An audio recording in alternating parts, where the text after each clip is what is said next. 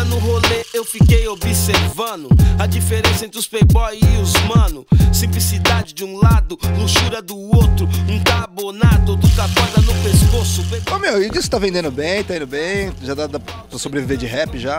Não, já Pra sobreviver dá, pra viver ainda não dá. ainda não dá. Pô, eu ia pedir pra você pagar um café, se estivesse bem. Sobrevive de... vamos, vamos, vamos, vamos beber um café que é por conta pelo, da trama. Pelo menos um café. Ah, agora sabia o cara.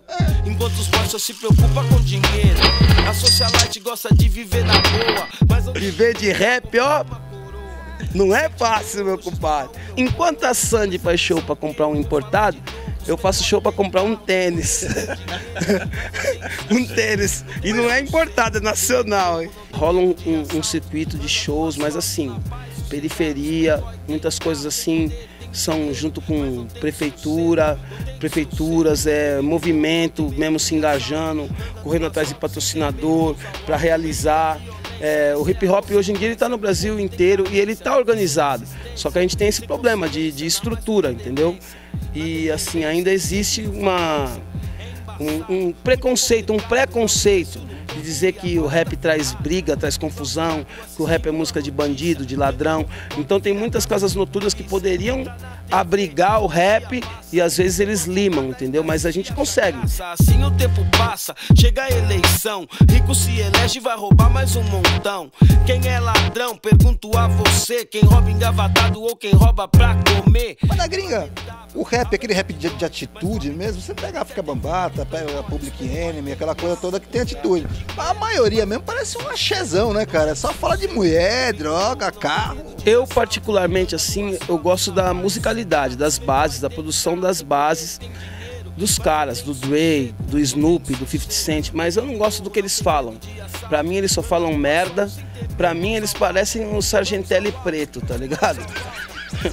Os caras ficam lá mostrando a bunda da mulherada e se mostrando o poderoso chefão, com um carrão. Só que eu acho que a nossa realidade é diferente dessa. Eu gosto mesmo é do Public Enemy, do KRS One, do ICT, os caras que tinham uma ideia para trocar.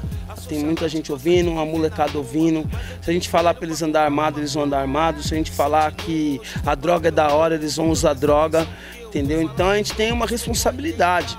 E o rap está procurando é, ver esse lado, tem gente preocupada. Esses dias mesmo eu tava conversando com o Brau, com o Mano Brau, ele falou, é, mano, a responsabilidade é grande, porque os moleques estão se matando.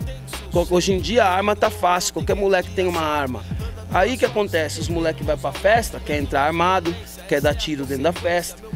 Então, Se tem, vai querer mostrar, né? É, então a gente tem que educar esses moleques para uma outra coisa. Existem outras formas.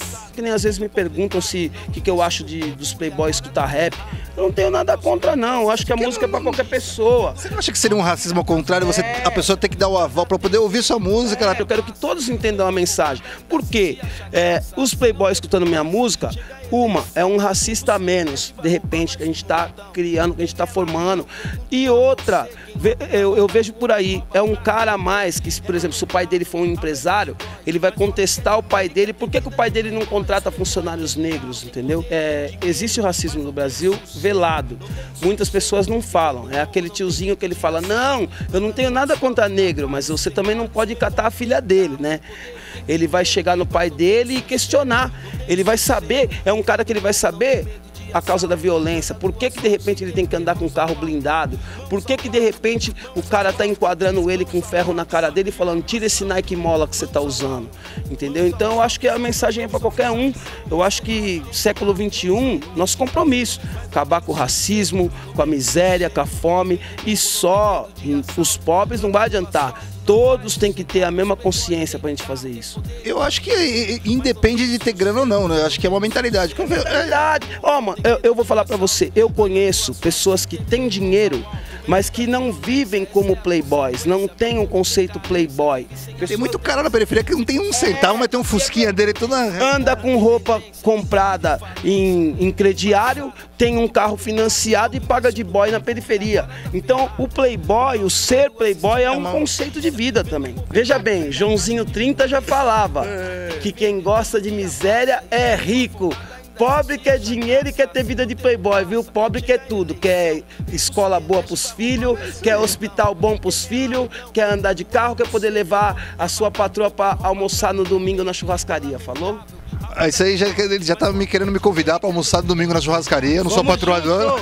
Vamos junto. Vamos fazer um churrasco lá na quebrada, é mais fácil. Eu vou fazer um churrasco na casa do Jair Rodrigues, ele paga. Vamos lá! Vamos lá, Jairzão, tô levando o Clemente, hein? Playboy tem carro, tem poder e tem dinheiro, mas não tem sossego, não tem sossego. Quem vem do morro não tem medo de assalto, anda no asfalto sem temer, mãos ao alto. No palco da sociedade, onde o ator negro só quer